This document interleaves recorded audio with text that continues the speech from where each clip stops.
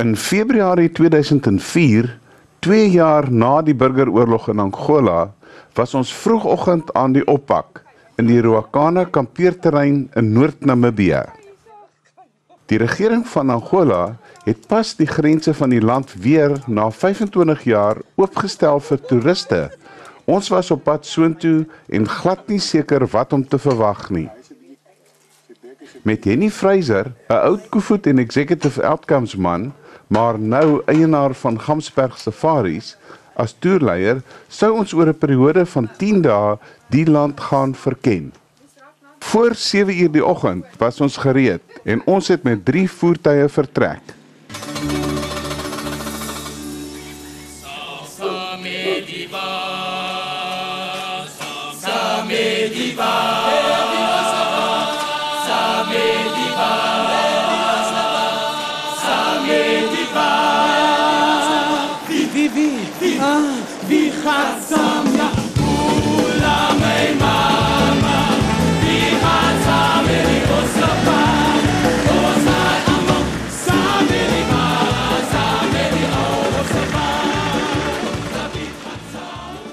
Met die tyd tot ons beskikking kon ons slegs die suidwestelike deel van Angola besoek.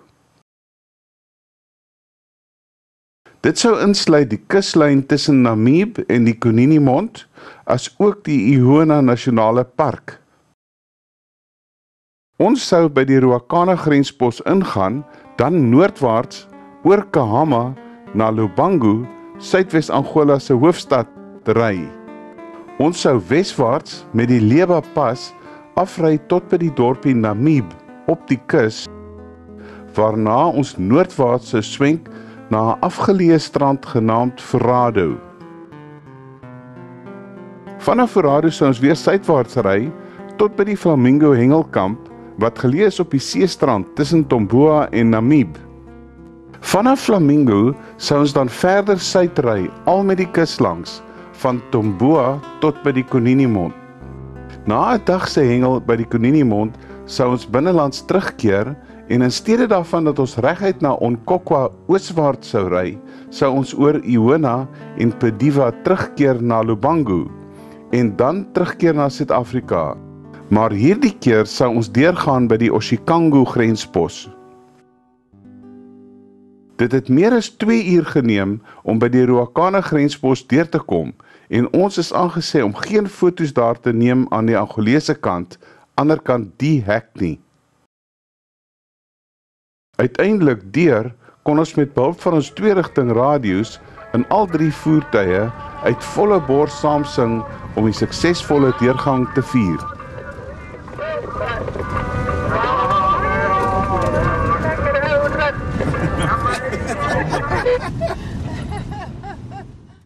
Op pad na die eerste dorpie, Chitado, het ons vlak by die Kalawek dam verbygery.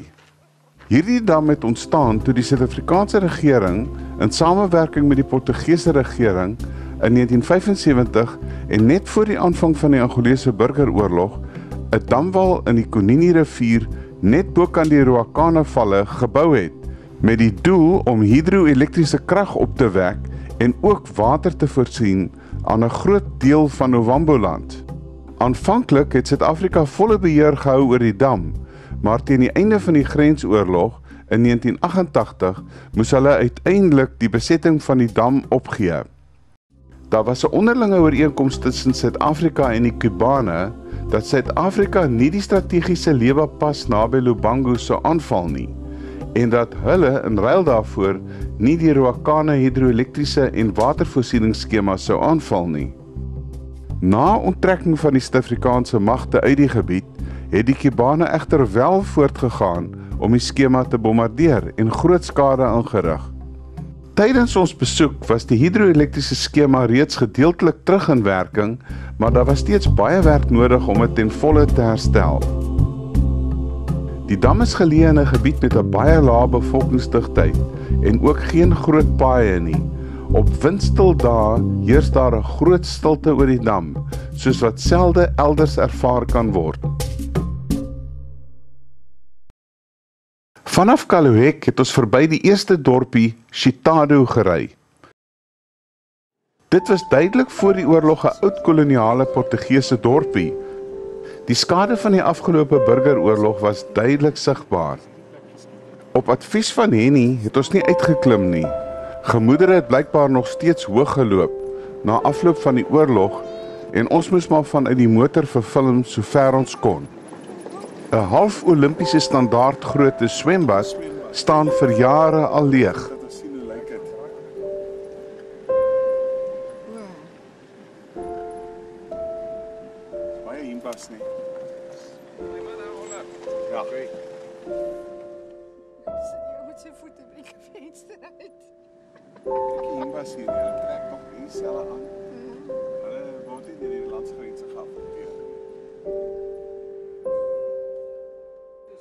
Hierdie waterpunt op die dorpsplein gedateer 1967 was 'n anakronistiese oorblyfsel van die tye toe die Portugese nog hul Europese invloed laat geld het.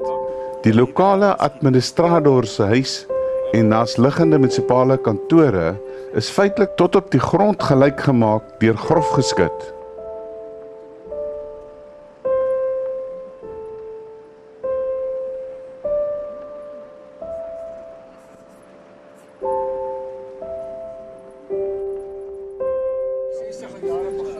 Geen van die dienste in die dorp is ooit herstel nie en net buite die dorp het ons afgekom op hierdie Dimba vrou wat water kom skep het uit die droë rivier loop.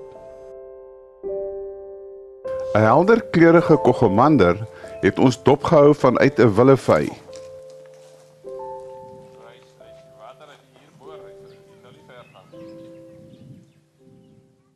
Ons het 'n entjie verder gery tot by die dorpie Tapella waar ons gestop het by 'n laerskooltjie om skryfbehoeftes en klere wat deur een van ons groep Piet Jenus van Stellenbosch geskenk is aan die skoliere te oorhandig. Esta nome para esta persona. Okay. Es persona venha aquí para África do Sul, ¿no? Esta señorita fala para África do Sul, ficar para África do Sul. Okay. Mas si esta señorita falar, tudo es book, pen, esta uh, outro outro pequeno aqui, outro ali, mas vai para pequeno. Ok. Ok. okay. Tudo mas vai para a pessoa. Ok, obrigado. Ja. Alright. Dan sien dan sien we dat nie so skryf. Ja, nee, ek het nou vir hulle gesê, tudo cois. Ja. Uh, tudo cois aqui. So, esta cois. Ok, tudo okay. tudo pequeno. Okay. Essa aqui só.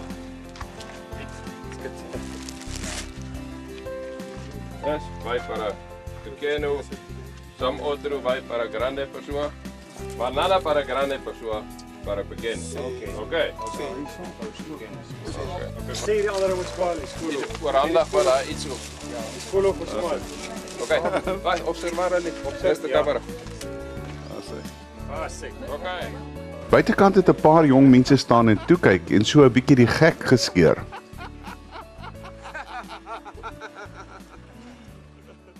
Laatmiddag kon ons die Angolese hoogland in die verte sien naderkom.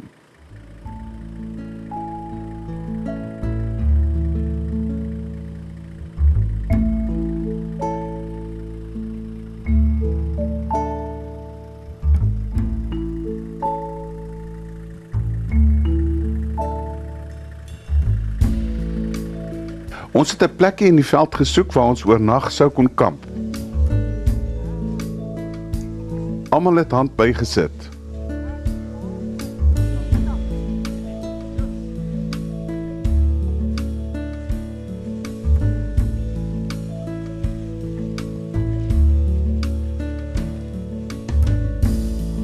In 'n boom reg langs ons kampeerplek het ons afgekom op hierdie kleurvolle orgidee wat geblom het te midde van 'n andersins droë landskap.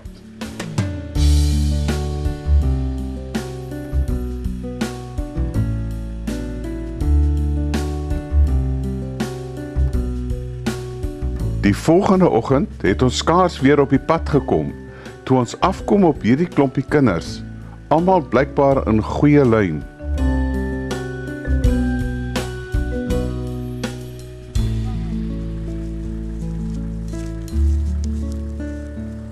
Ons kon 'n paar lekkers uitdeel waarvoor hulle baie dankbaar was en ons het verder gery.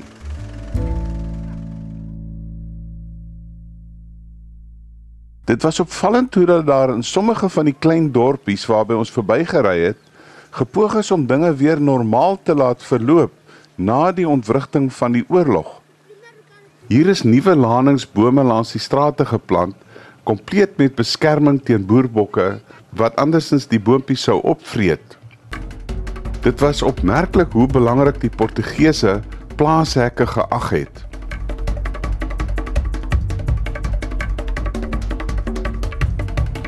Soms was daar nie eers jy sprake van 'n plaas nie, maar die plaashekke het in al hul glorie gebruik.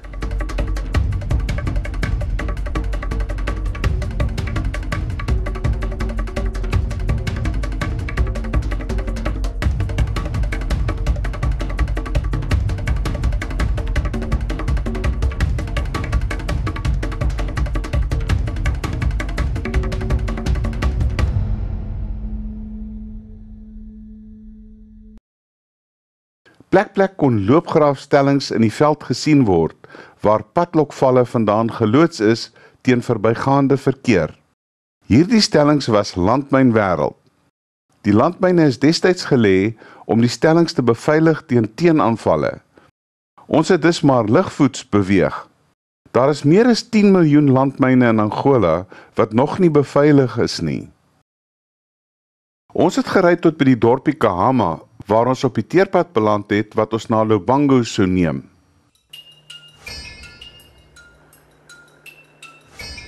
Die toestand van die pad het heelwat te wense gelaat.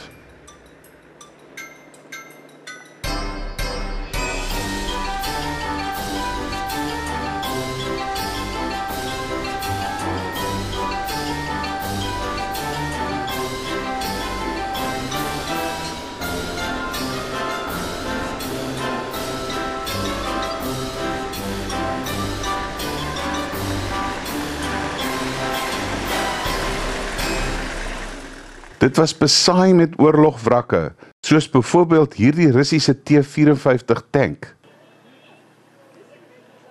Op pad het ons stilgehou by 'n klein winkeltjie waar ons hierdie massiewe wilde vy teëgekom het.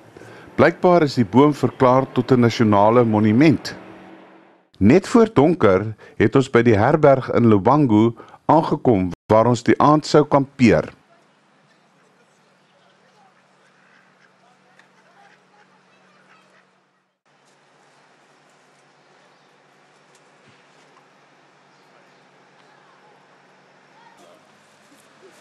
Dit het 'n eerste klas restaurant gehad en ons het gesmil aan heerlike Portugese kos.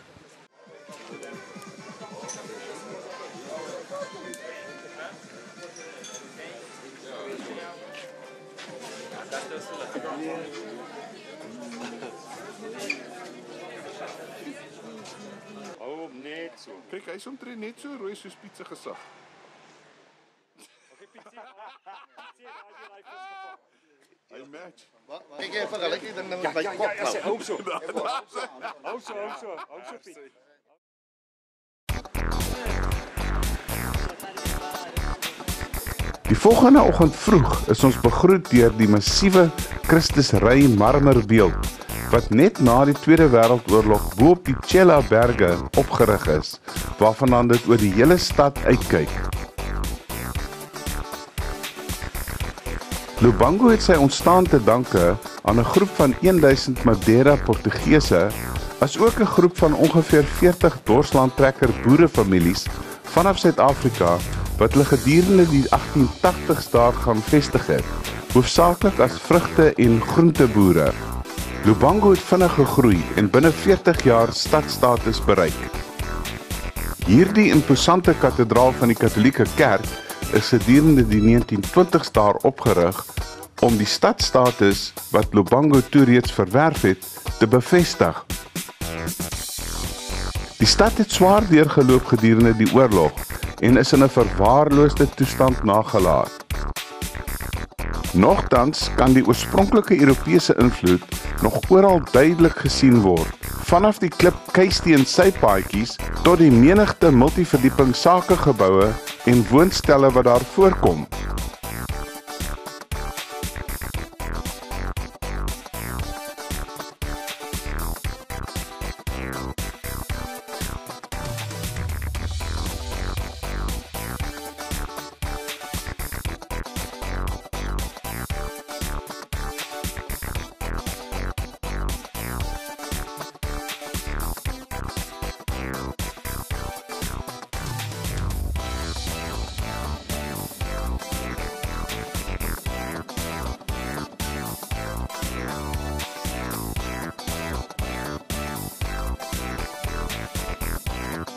Lubango het ook sy uitsoekbuurte met imposante herehuise.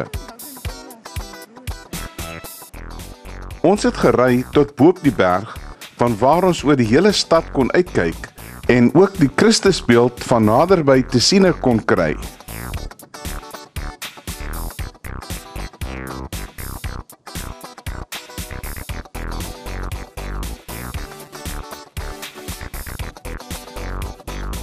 Basis van die monument was net soos die stad verwaarloos, maar die beeld self was nog in 'n goeie toestand. Dit is gekap uit spierwit marmer en is een van drie identiese beelde. Die ander twee is die bekende Christo Redentor beeld in Rio de Janeiro en die Christusbeeld wat uitkyk oor die stad Lissabon, ook genaamd Christo Rey. Die drie replikas is almal 28 meters hoog. Daar is sprake daarvan dat 'n vierde replika ook binnekort iewers in Poland gebou gaan word.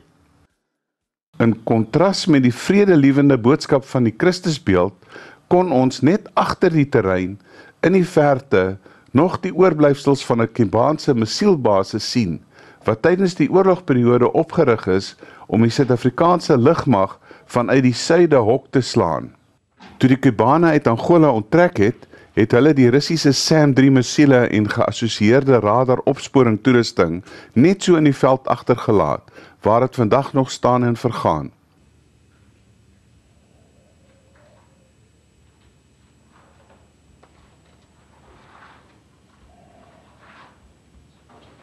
Ons besoek aan Lubango het aan 'n einde gekom en ons het verder gery weswaarts op pad na Namib en die Atlantiese kus. Net buite Lubango het ons deur Humpata gery. Dit is die plek waar die meeste van die dorslandtrekkers uiteindelik tot rus gekom het na hulle omswervinge deur Suidelike Afrika. Geleë meer as 6000 voet bo seespieël sodat geen malaria daar voorkom nie en met 'n relatief hoë reënval bied hierdie tropiese hoogland besondere goeie akkerbougeleenthede. En die dorslandtrekkers was gou om hierdie geleentheid te benut.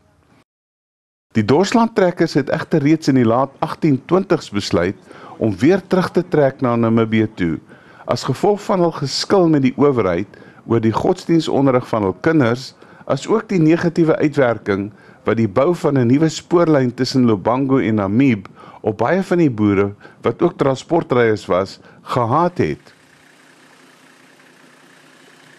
Die invloed van die dorslandtrekkers kan vandag nog in Ompata gesien word. Hierdie appelboord was nog geplant deur die dorslandtrekkers. Die gereformeerde kerkie staan vandag ook nog daar waar dit in 'n goeie toestand onderhou word en dien as 'n monument van die dorslandtrekkers. Wanneer jy uitklim en rondkyk, kan jy nie help om die vrugbaarheid van die Humpata grond raak te sien nie.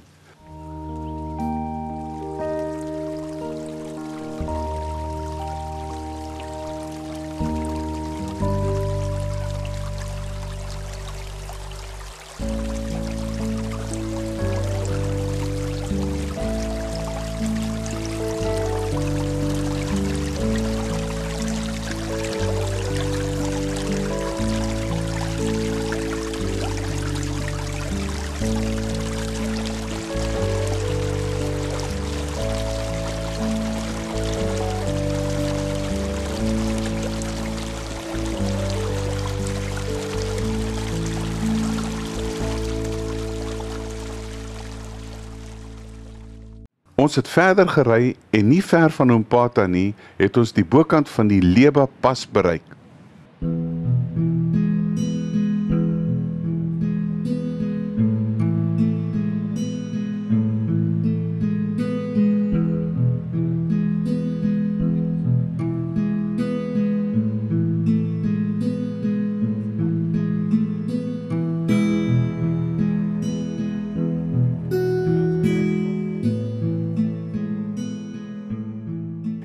Ongelooflike pas wat gedurende die, die 60s gebou is, neem jou deur 3 of 4 klimaatsones binne 'n ry afstand van 10 km waar dit val van 'n verhoogte van ongeveer 6000 voet tot feitelik by seevlak.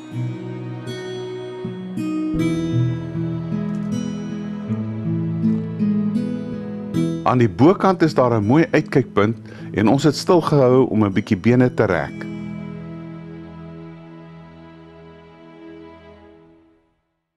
Ons het verder gery en toe ons by die kus kom, het ons noordwaarts geswenk reguit na Forado toe. Hierdie deel van die kus is nog 'n verlenging van die Namib. Dis pure woestyn.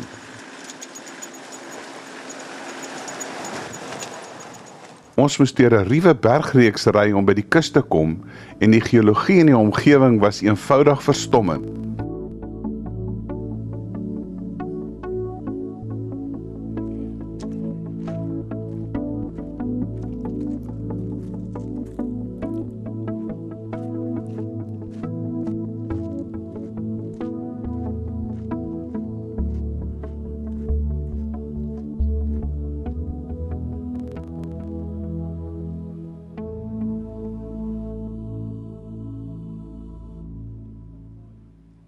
Uiteindelik het ons laatmiddag by die strandhuisie by Forado aangekom waar ons 2 aande sou oorbly. Ons het gekom om vis te vang en ons het gehoop dat die vis goed sou byt.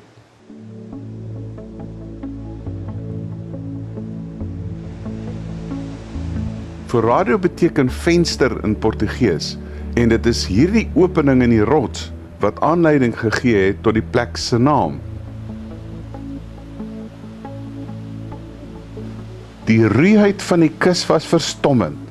Afwisselings van klei, kalk en rotsbanke en die uitwerking van erosie het aanleiding gegee tot hierdie vertikale wande wat vir kilometers langs die kus loop.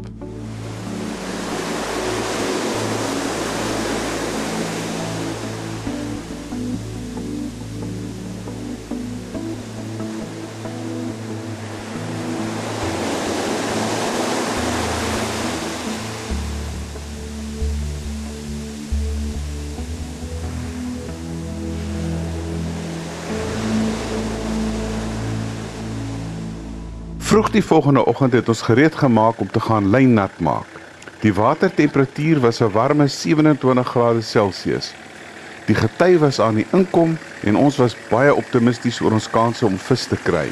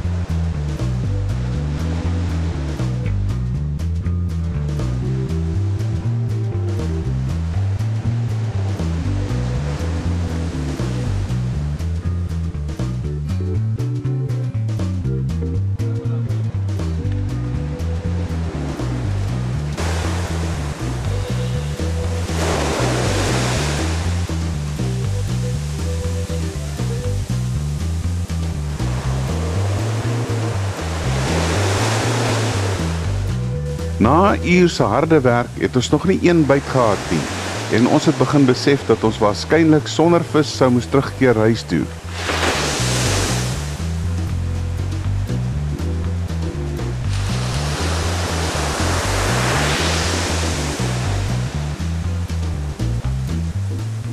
Net mooi daardie tyd daag 'n paar lokale vissermanne met 'n klein bootjie by ons op met 'n klompie visse wat hulle self vroeër die oggend in die diepsee gevang het.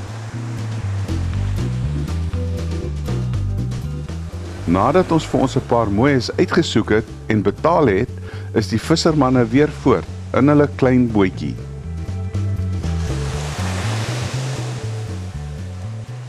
Ons het nog ons lyne uitgehaat, maar dit was duidelik dat die optimisme van vroeër die dag daarmee heen was.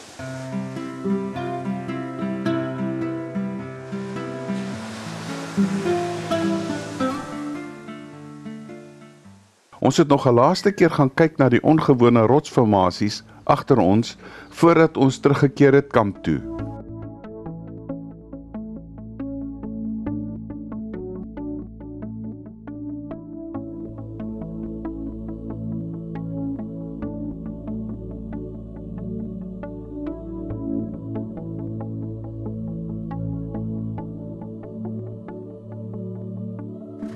Die volgende oggend is ons vroeg weer op pad.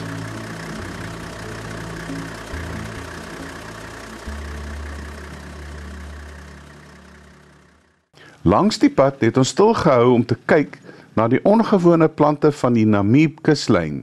Dis die wêreld van die kanidoods en die kobasse. Ons het met groot afwagting die woestynkusdorpie Namib genader. Die buitewyke van die dorp is omring van olyfplantasies en groenteplase. Net soos Lubangu is die Portugese koloniale invloed op die argitektuur van die geboue opmerklik.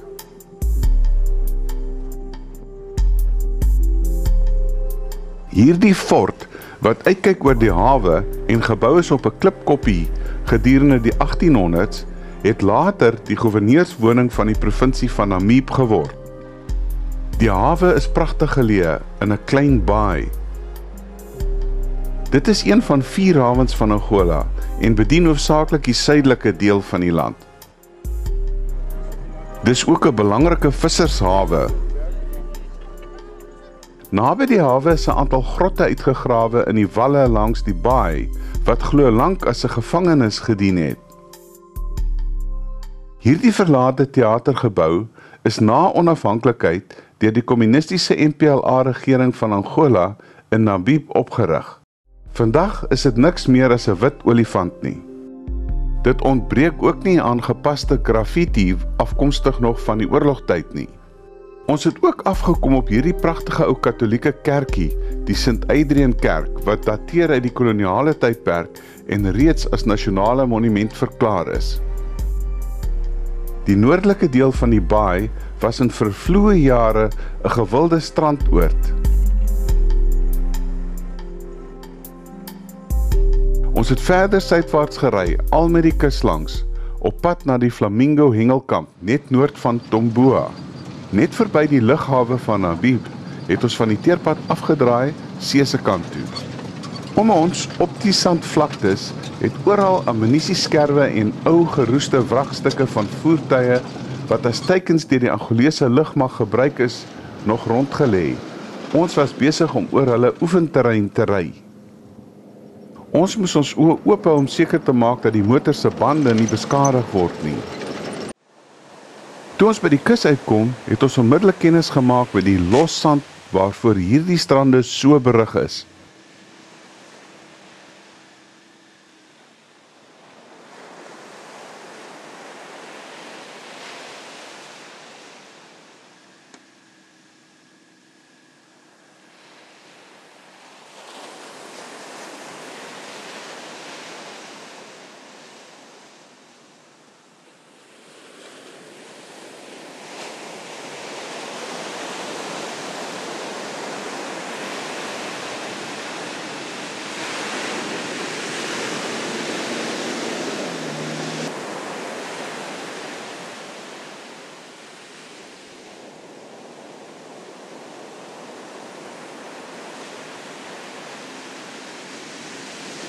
Ons het al met die kus langs suidwaarts gery tot ons gekom het by hierdie duin met sy lang skuins aanloop waaroor ons moes ry.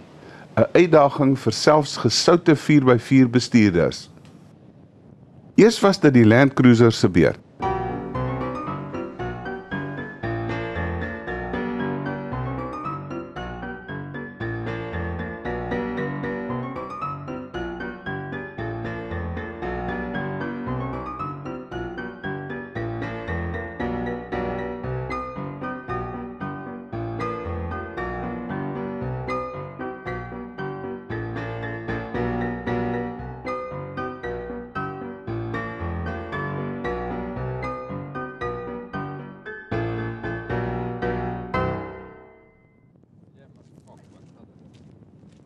Daarna was dit die Land Rover se beurt.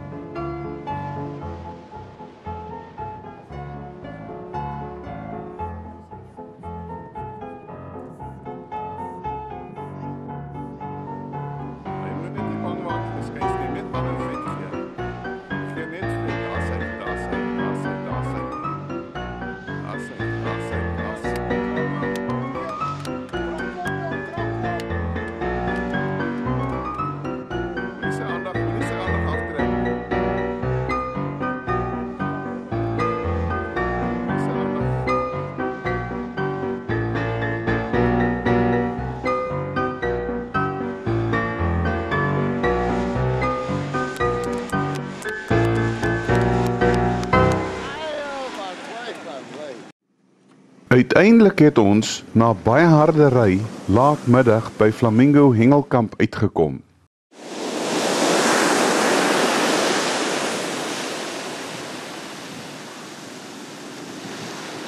Dit word bedryf deur Riku Saku, 'n Suid-Afrikaanse oud rekkie oorspronklik van Garries.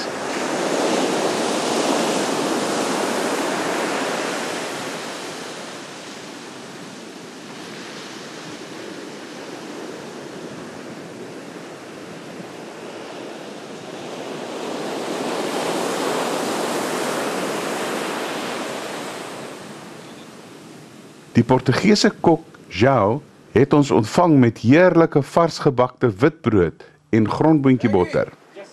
Die seelig en harde ry het ons almal honger gemaak en ons het gesmil aan João se brood.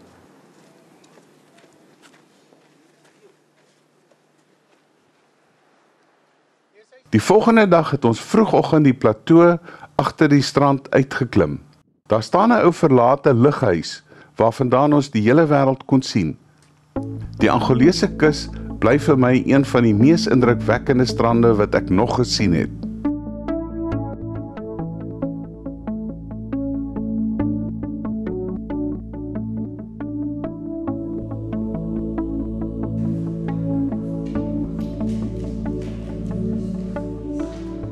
Ver onder ons was die manne reeds bedrywig by die viswaters.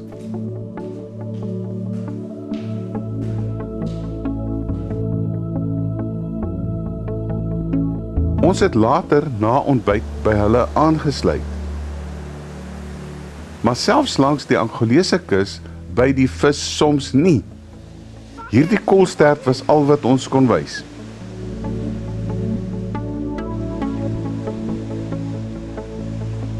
Toe die son sak, kon ons met drankies in die hand rustig op die balkon sit en kyk hoe dat 'n hengelspan van Supersport terugkeer na 'n dag se hengel op die see.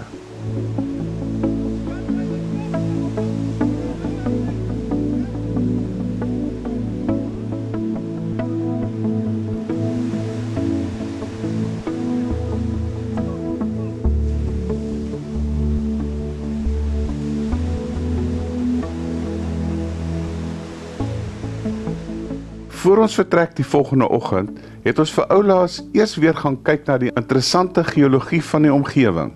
Die samestelling van die rotsmateriaal waaruit die hoë vertikale erosiewalle langs die kus bestaan, is sodanig dat dit onmiddellik opbreek en vervloei wanneer dit blootgestel word aan water.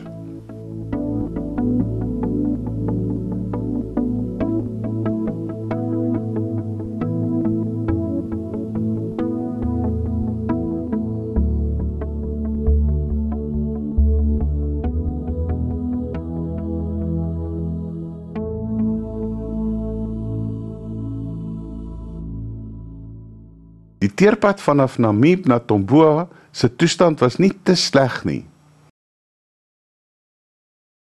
Armoede is 'n groot probleem in Tomboa en die Verenigde Nasies se Kommissariaat vir Vlugtelinge is nog steeds besig om op 'n gereelde basis kospakkette aan die lokale bevolking uit te deel, soos hier. Vanaf Tomboa het ons weer kuslangs gery, hierdie keer op pad na die Konini Mond. Hierdie berigte kusroete moet nie deur onervare 4x4 reisigers aangepak word nie. Vir 60 km loop die pad tussen die branders aan die see se kant en 'n konstante hoë sandduin aan die binnelandse kant. Dit is slegs begaanbaar tydens laagwater, want met hoogwater spoel die branders tot teen aan die sandduin. Daar is geen omdraai of selfs stilhou plek nie.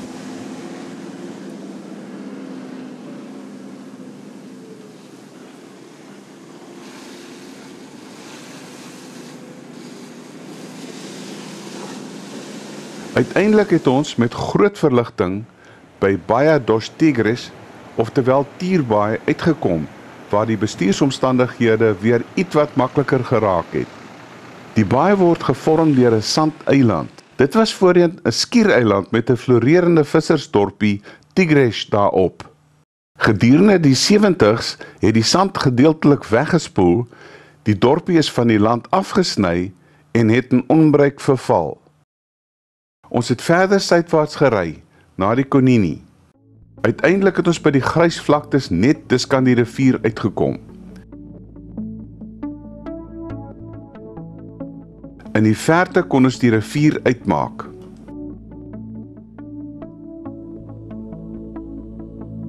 By die mond self is die rivier enkele kilometers wyd en dis 'n plek waar die wind die dag kan waai as hy regtig wil waai.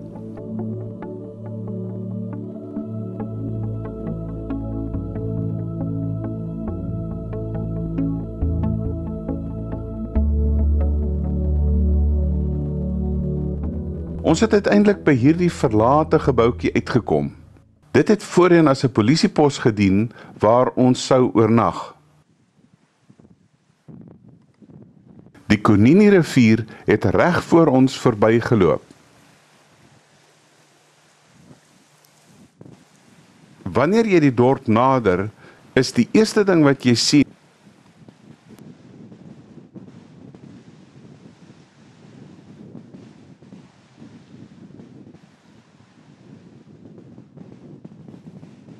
'n ou pompstasie van waar varswater destyds na die dorpie Tigres gepomp is, het daar naby op die wal van die rivier gestaan.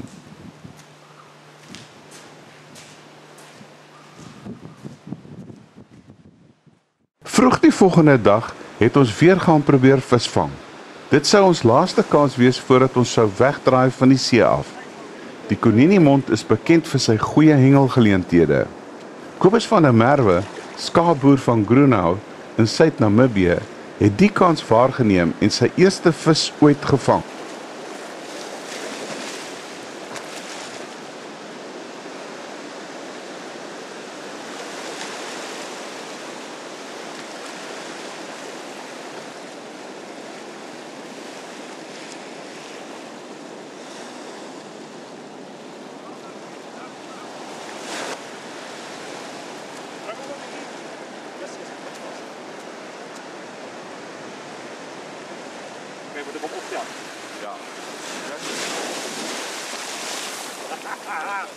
Dat is skaapvanging. Ah, her. Ons het nou die verste punt van ons tog bereik en moes begin huiswaarts keer. Voordat ons Iona bereik het, het ons in die woestyn afgekom op hierdie oorblyfsel van 'n 1958 Ford Fairlane 500 wat destyds agtergelaat is deur die Portugese vlugtelinge wat desperaat probeer het om die Namibiese grens te bereik met soveel van hulle besittings as wat hulle kon saamneem. Die wrak het intussen die woonplek geraak van 'n horingsman slang.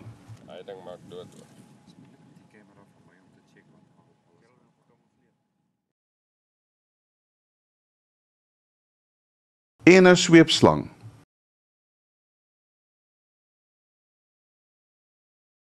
Ons laaste aand het ons oorgebly by 'n gastehuis in die middel van die Iona Nasionale Park. Die slaapvertrekke is ingerig in massiewe, natuurlik uitgeholde rotse.